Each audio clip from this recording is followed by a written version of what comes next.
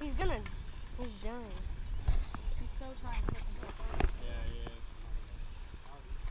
Just not enough leverage to put himself over. He's still